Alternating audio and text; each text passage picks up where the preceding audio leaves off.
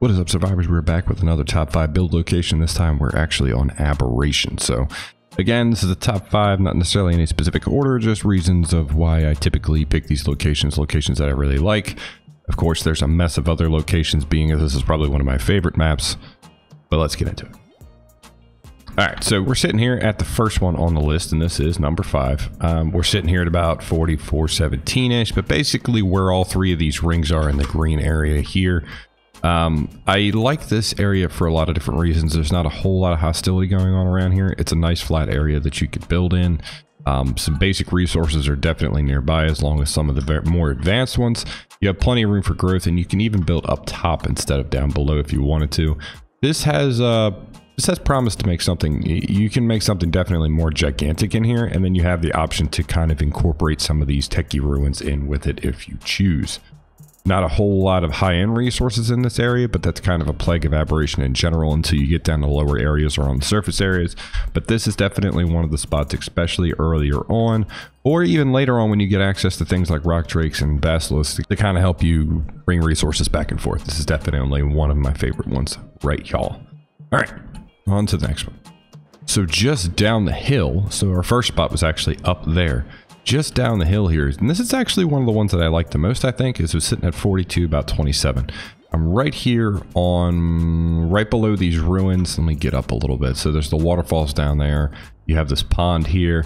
You actually have an artifact cave on the other side. This is a nice little area. So what do we have around here? We have the one of the artifact caves right there, right around the corner from us. We have the ocean here that has um, so a little bit of pearls, but some other things as well. Um, we have some definitely plenty of rocks and stone, all that good stuff. It's a bit more hostile, so you're going to have to be a little bit more careful with how you build. Maybe you could do like cliff platforms up here or even build up here on the upper level to kind of avoid some of that for the time being. But once you get some base defenses and a pretty standard size base, you can pretty much live out here with no real threats or issues. Um, what else do we have here? We have plenty of stuff. So obviously having water, access to water is super useful. Again, we have access to pearls down here, and there will be trilobites that spawn down here periodically too to get some chitin and you know some pearls and a little bit of oil from them as well. This little island out here does offer crystal and metal as well. And the, in the artifact cave down here, there's crystal and metal and a little bit of obsidian down in there as well. Plus, you get access to glowtails, which are in here. Glowtails are kind of a pain in the butt to get sometimes in this map, but they're definitely in that cave and not too difficult to get to access to that is cool. Plus you have the cave loot drops. Um, you got a couple loot drop loot spawns that spawn. The one that's in the water here, and then you have a couple back behind you.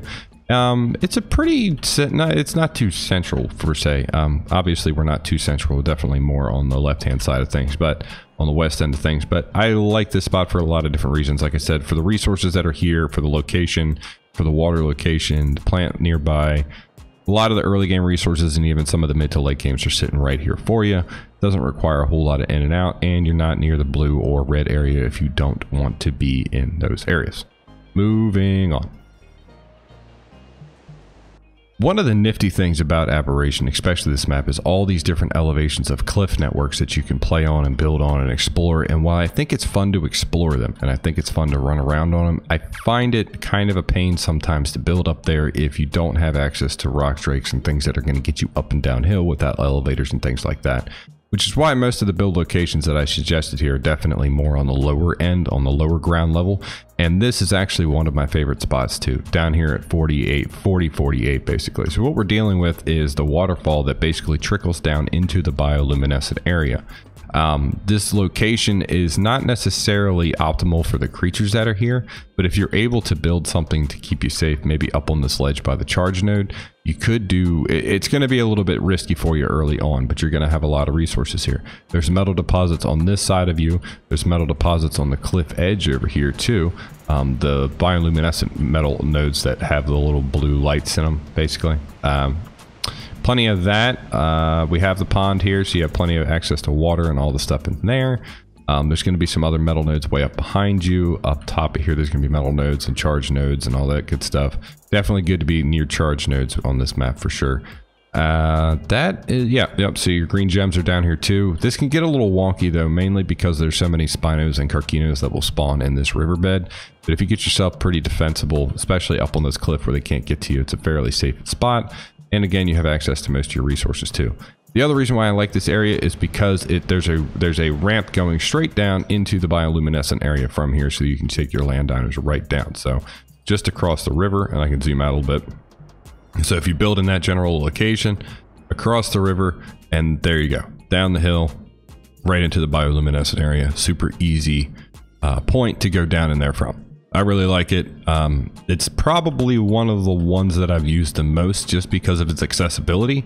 And then if you wanted to get crazier later on, you can easily get to the red area. As you can see, there's the, the tech ruins going down into the red area as well. So you can definitely, once you get to rock drake status, it would be super easy. Or even if you're hunting rock drakes, you can get down into the red area from this side pretty easily. You have access to a lot of different points. Um, the only bummer about this one, especially being in the greened area, is your lack of surface access if you're trying to get out on the surface. The only way, the closest one from this point is going to be kind of all the way on the other side. Uh, all the way over here. That's going to be your closest access to the surface over here, 2762. So it's definitely a little bit riskier um, as far as getting it. Well, not necessarily riskier, but it's definitely more time consuming when you're getting to that point. But I do like the area. I think it's gorgeous. I think it's really cool that it overlooks the bioluminescent area. It's a really gorgeous biome in general. And this would be number three for me, right around this area, 40, 47. All right, so I am gamut up for number four, and the reason why is because it's very dark down here. As you see, if I gamut down, it's like super, super, super dark. And we're in the bioluminescent area at around 52, 76, 77, but really where I like to build at is right up in this back area, which is 53, 78. Um, it's dark in here and it's kind of hard to see with the gamma being what it is, but essentially what you have, and hold on, let's uh, let's fix this issue real quick. Let's uh,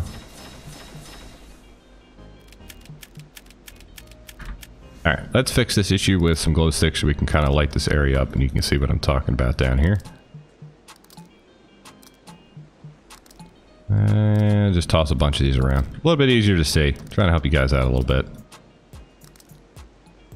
going to look a little obnoxious, but hey, it'll work. Like a little rave party going on down here.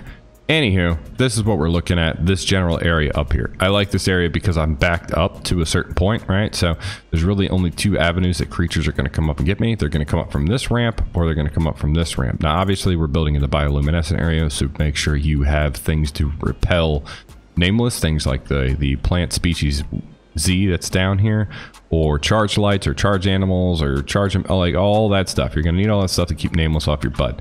But the nice thing about this area is that you do have plenty of metal nodes up here. You have obsidian up here. You have plenty of those resources. Down in this bottom area, you also have access to all sorts of wildlife that would normally be a pain in the butt. But if you're if you're usually when you're coming down to this area, you probably already have things like maybe like a Spino or even a Karkinos to kind of go fishing through this. Uh, because there's jellyfish down here in numbers, you have access to biotoxin. There's also leeches and trilobites down here to access for things like oil and and pearl access as well. So that stuff's going to be all over the place down there for you to go get. Um, you have there's a couple of gas geysers out here as well. So you have access. To, yep, here we go. There's a couple of gas geysers out here as well, so you can put your gas outlets down here as well. Um, some gem some gem deposits here too. There's a lot of stuff going on in this area. It's definitely a bit more dangerous as opposed to the green area, but I this is probably one of my favorite blue areas to spawn in or to play in, uh, mainly because it's just very easy to easily defendable. If you kind of preemptively build some things to keep the nameless at bay so that you don't have anything like nameless or reaper king showing up, you can definitely you can easily destroy you can easily protect yourself with just a few dino gates on the other side of this until you get something a bit more established. Um, and even if you don't have some big guys, if you just have some big guns, it would be super easy for you to hunt those things right from the top of this guy here. You'd be able to full see everything down there in front of you. Um, I've used this area quite a few times. Um, the only the only thing to watch for periodically is sometimes you'll get sporadic rock drakes that will come this way. But again, if you have some protection up on this end, you should be good. Anywho, that's uh that's my spot down here at 5478 and I'm a fan. I like this area. I would highly suggest trying this one out if you like to build in the bioluminescent area, but you're worried about getting assaulted by everything and their mother. All right, we're gonna uh, throw some charge lights down for this one too, just to kind of give you a feel. This is more of a general area build build location, so much as not so much as an actual specific spot, and I'll show you guys why. Let's get some lights down here so it's not too terribly dark. You can kind of see what's going on. Basically we're sitting at 5372 it's not too terribly far away from our last location. Um, obviously all your resources are going to be pretty much nearby but as you can see this is a very hostile environment. We have rock drakes flying around. We have karkinos we have uh, megalosaurus that are hanging around down here. This is not a happy location. This is definitely a location that you want to come into um, with some plan in action what you can actually do is build up in here, which usually tends to be the more safer of the regions. And we're sitting at 5173, mainly because I'm kind of backed up to the edge of a wall here, and there's only a couple different places I have to try to guard keeps me a little bit safer. Um, that's usually where I would typically build at. But really anywhere along this edge, having access to water right by you, and then everything that's in the water, as you can see, there's pearls and a lot of other things. All the end game resources are down here too. I'm gonna turn the gam up, so it's gonna be a little bit blown out, but at least you guys can see what's going on. Um, right around this area too. This is another good spot that I that I typically like is 5773 it's you don't have really the space for a huge base, but if you're doing like a small to medium build, it's not a cool, it's not a bad location. Aesthetically, I think it looks awesome with these giant crystal pillars coming down into the water. You're not too far away from that biome either. Of course, there's an earthquake going on. There's always something that happens whenever we're recording Anywho, um, the other reason why I like this, the why this location, because it butts right up to the red area. I can immediately come right into the red area biome right here. And it can be kind of a pain to get up and down out of that red area without some access to things like rock drakes or other instant, other, some sort of flyer-based creature. You know, Aberration doesn't have flyers, but things like rock drakes make super helpful but you're going to need access to red gems fairly on, right? So the idea is that I can come from my base right here and drop right into the red area and there's going to be red crystals around here sporadically as well. I'm going to gamma up over here so you guys can, again, see what's going on. Um, but you have the, the element lava fall here and then right up the hill, there's red crystals to harvest for red gems up and down the hill and you're in the red area as well. So you find the Reaper Queens and your Rock Drakes and all that crazy stuff down there too. Uh, it's easy land access is pretty much why I like it. Now you could do something really nut nut bar and kind of make some sort of elevator platform because this is right at the other the other area that I was showing you guys before. You could do something like a crazy elevator platform or cliff platforms that connect and kind of make a stairway down. But there's also a land bridge that comes down here. So let me back up so you guys can see what's going on.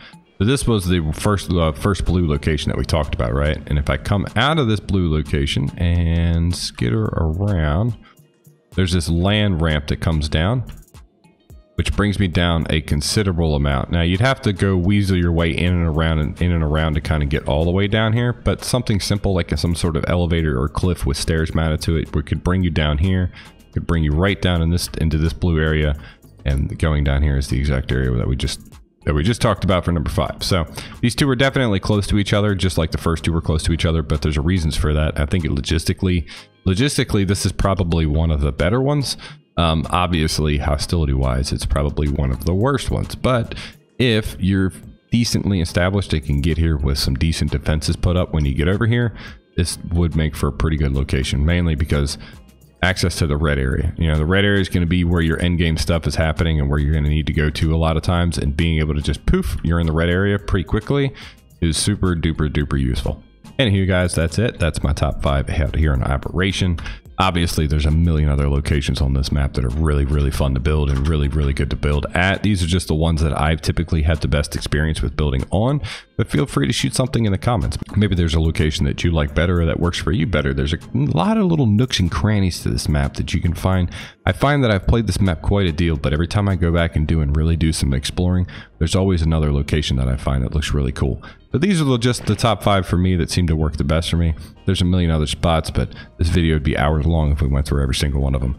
That's all I got, guys. Thanks for watching. Thanks for hanging out. I'll see you on the next one.